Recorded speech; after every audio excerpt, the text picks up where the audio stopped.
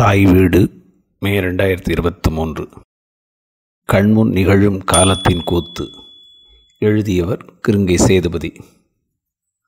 மகாகவி பாரதியாரின் பத்தாண்டு கால புதுவை வாழ்வில் நிகழ்ந்தேறிய அற்புதங்கள் இயற்கை இறந்த நிகழ்ச்சிகளாக தெரிந்தாலும் அவற்றை பொய்யென்று புறந்தள்ளிவிட இயலாது. காரணம் உடனிருந்து கண்டவர்கள் அந்த உண்மைகளை புனைவேதுமின்றி பதிவு செய்திருக்கிறார்கள்.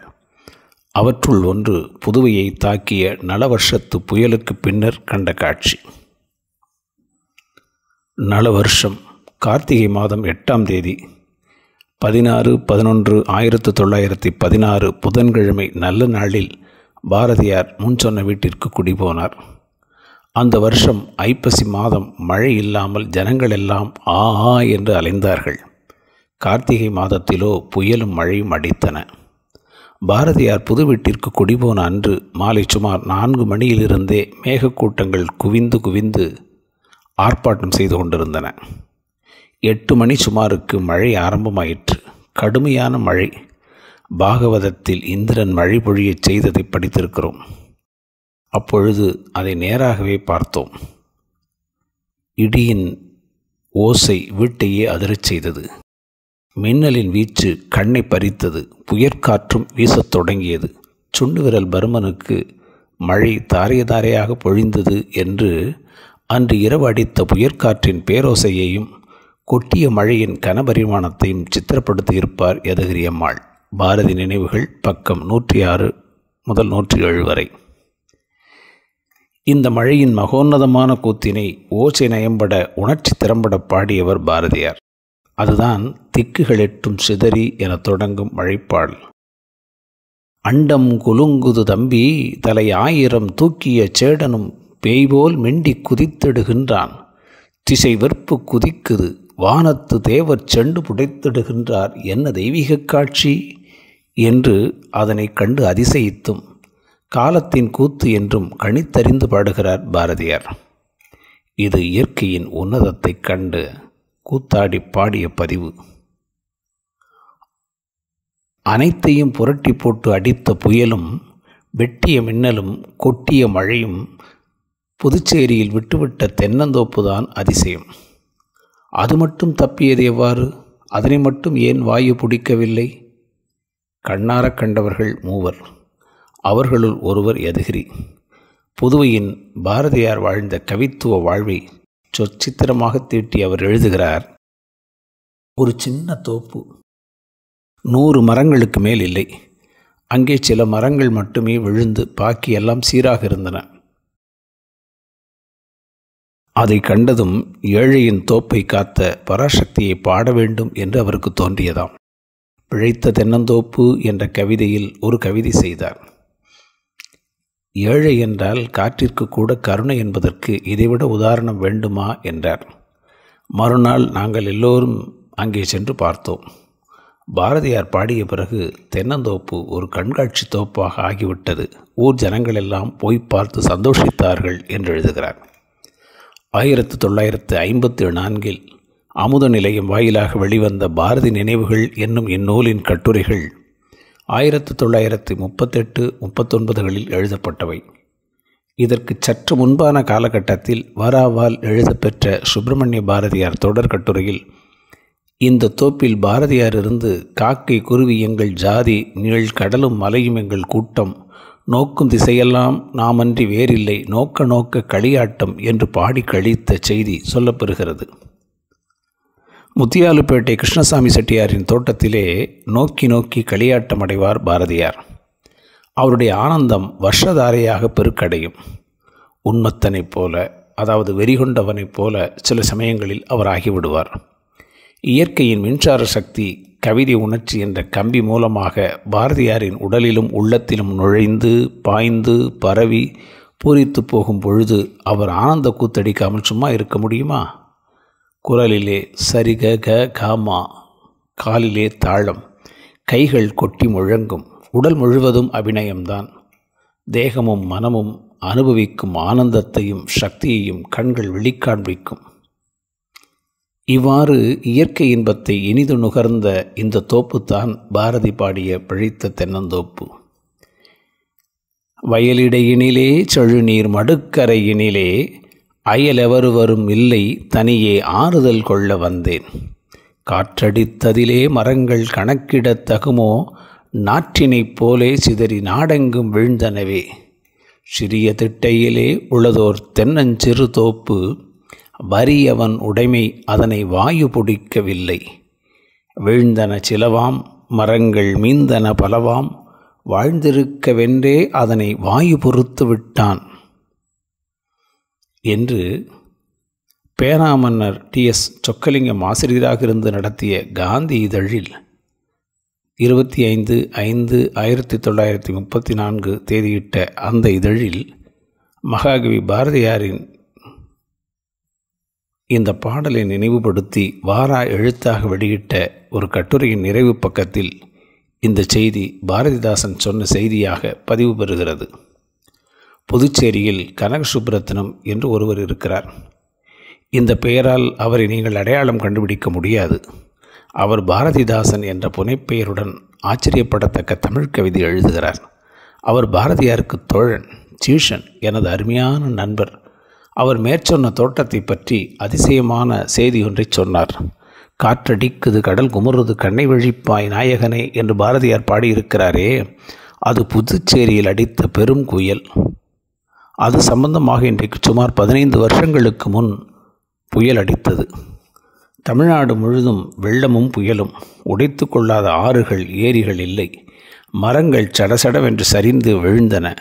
காடெல்லாம் விறகான செய்தி ஆயிற்று நாடு முழுவதும். புதுச்சேரி கடற்கரை நகரம்.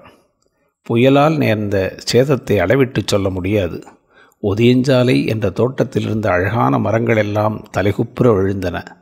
தந்தி கம்பங்கள் முறிந்து போயின கட்டிடங்கள் விழுந்தன கூரைகள் அப்படியே கூடாரம் அடித்தது போல உட்கார்ந்து விட்டன.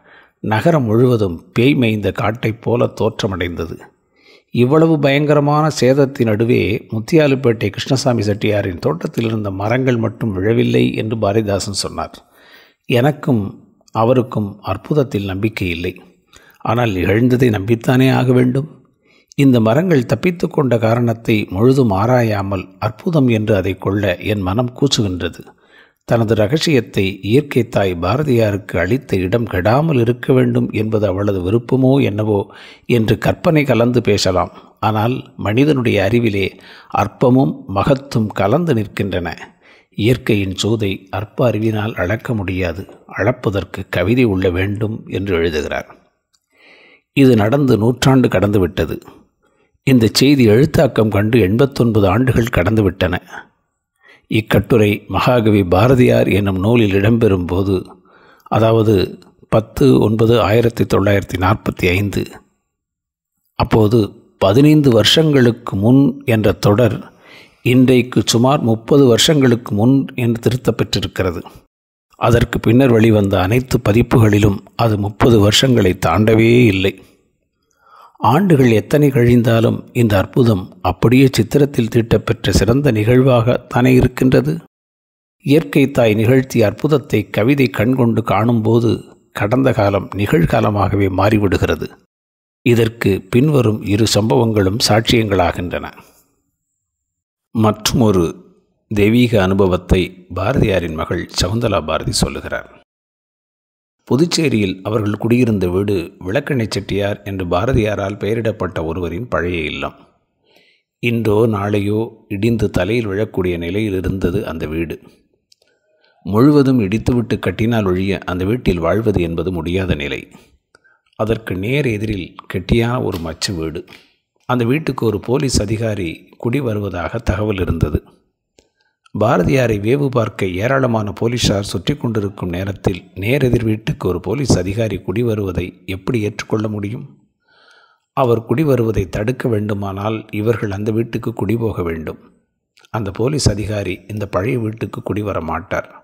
வேறு வழியில்லை அந்த மச்சு வீட்டுக்கு பனிரெண்டு ரூபாய் வாடகை என்ற போதும்.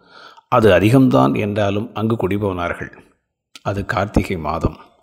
இவர்கள் புதிய வீட்டுக்கு குடிபோன மறுநாள் இரவு கடுமையான மழை. அதனைத் தொடர்ந்து பேய்க்காற்று வீசத் தொடங்கியது. ஆம் புயல் காற்று தொடங்கிவிட்டது. பாரதியாரின் இரண்டு பெண் குழந்தைகளும் ஓர் அறையில் படுத்துவிட்டனர் பாரதியும் செல்லம்மாவும் விடிய விடிய கண்விழித்து இறைவனை பிரார்த்தனை செய்து கொண்டிருந்தார்கள். நடு இரவில் சுற்றுப்புறங்களில் மரங்கள் மடேர் மடேர் என்று ஒடிந்து விழும் ஓசை. ஓசை கேட்டு எழுந்த சகுந்தலாவை பாரதியார் ஆறுதல் சொல்லி காற்றும் மழையும் பெரிதாக இருக்கிறது பாப்பா பயப்படாதே என்று ஆறுதல் சொன்னார். விடியற் காலையில் மகளை அழைத்து கொண்டு பாரதி வெளியே வந்தார். அப்போது வாயுதேவனின் விளையாட்டைக் கண்டு அதிர்ச்சி அடைந்தனர். சாலை மரங்களெல்லாம் வேரோடு பெயர்ந்து விழுந்து கிடந்தன. ஏராளமான காக்கைகளும் ஏனைய பறவை இனங்களும் கூட்டம் கூட்டமாக இறந்து கிடந்தன. தந்தி மரங்கள் அருந்து விழுந்து கிடந்தன. வரிசையாக தென்னை மரங்கள் அனைத்துமே விழுந்து கிடந்தன. அப்போது பாரதி பாடிய பாடல்தான் காற்றடிக்குது கடல் குமுறுது கண்ணை வழிப்பாய் நாயகனே என தொடங்கும் பாடல். அதில் வரும் சில வரிகள் அவருடைய அனுபவத்தை பிரதிபலிப்பதாக அமைந்தது. அது நேற்றிருந்தோம் அந்த வீட்டினிலே இந்த நேரம் இருந்தால் என்படுவோம். காற்றன வெந்தது கூற்றமெங்கே நம்மை காத்தது தெய்வ வலிமையென்றோ என்ற பாடல். இந்த அனுபவத்தோடு ஒட்டிய இன்னொரு பதிவாக அமைகிறது. பாரதியார் எழுதிய சிறுகதை ஒத்த நடைச்சித்திரம் மழை. இது புயல் மழைக்கு முந்தைய நாளின் அனுபவமாக இருந்திருக்கக்கூடும். ஓம் ஓம் ஓம் என்று கடல் ஒலிக்குது. காற்று சுழித்து சுழித்து வீசுது. மணல் பறக்குது. வான் இருளுது. மேகம் சுழுது. கடற்கரையில் காற்று வாங்க வந்த ஜனங்கள் கலைந்து வீட்டுக்கு திரும்புகிறார்கள். நானும் ராமராயரும் வேணுமுதலியும் வாத்தியார் பிரம்மராய ஐயரும் இன்னும் சிலருமாக கடற்கரை மணல் மேலே உட்கார்ந்து வார்த்தை சொல்லிக் கொண்டிருந்தோம். மின்னல் வெட்டு அதிகப்படுகிறது. ராத்திரி ஏழு அல்லது ஏழரை மணி இருக்கலாம். நாமும் எழுந்து வீட்டுக்கு போக வேண்டியதுதான் என்று பிரம்மராய ஐயர் சொன்னார். வேணுமுதலியார் பாடுகிறார் காற்றடிக்குது கடல் குமுறுது கண்ணை வழிப்பாய் நாயகனே தூற்றல் கதவு சாளரமெல்லாம் தொலைத்தடிக்குது கூடத்திலே மழை தொலைத்தடிக்குது கூட்டத்திலே. பாட்டெல்லாம் சரிதான் ஆனால் மழை பெய்யாது என்று ராமராயர் மற்றும் ஒரு முறை வற்புறுத்தி சொன்னார். பந்தயம் என்ன போடுகிறீர்? என்று பிரம்மராய ஐயர் கேட்டார். மழை பெய்தால் நான் உமக்கு பத்து ரூபாய் கொடுக்கிறேன். அதாவது இன்னும் இரண்டு மணி நேரத்திற்குள் மழை பெய்யாது என்று நான் சொல்லுகிறேன். பெய்தால் நான் உமக்கு பத்து ரூபாய் கொடுப்பேன். பெய்யாவிட்டால் நீர் நமக்கு பத்து ரூபாய் கொடுப்பீரா? என்று ராமராயர் சொன்னார். பிரம்மராயர் சரி என்றார். அப்போது என் தோள் மேலே ஒரு தூற்றல் சொட்டென்று விழுந்தது. நான் தூற்றல் போடுகிறது என்று சொன்னேன். இல்லை என்று ராமராயர் சொன்னார். என் மேல் ஒரு தூற்றல் விழுந்தது என்று சொன்னேன். அதற்கு ராமராயர் அலையிலிருந்து ஒரு திவலை காற்றிலே வந்து பட்டிருக்கும் அது மழைத்தூற்றல் அன்று என்றார். சரி என்று சும்மா இருந்து விட்டேன் என் மேலே ஒரு தூற்றல் விழுந்தது என்று பிரம்மராய ஐயர் கூவினார். இதுவும் மலையிலிருந்து தான் வந்திருக்கும் என்று ராமராயர் சொன்னார். அது எப்படி தெரியும் என்று பிரம்மராய ஐயர் சொல்வதற்குள்ளாகவே தூற்றல் பத்து பனிரெண்டு எல்லார் தலையிலும் விழுந்தது. ராமராயருக்கு பந்தயம் தோற்று போய்விட்டது என்று நான் சொன்னேன். இல்லை இது தூற்றல் நான் சிறு தூற்றல் கூட போடாதென்று சொல்லவில்லை. மழை பெய்யாதென்று சொன்னேன். சிறு தூற்றல் மழையாக மாட்டாது. இன்னும் இரண்டு மணி நேரம் இங்கே இருக்கலாம். அதுவரை மழை பெய்யாது என்று நிச்சயமாக இப்போதும் சொல்லுகிறேன் என்று ராமராயர் சித்தாந்தம் செய்தார். வானம் அதிகமாக கருத்து விட்டது.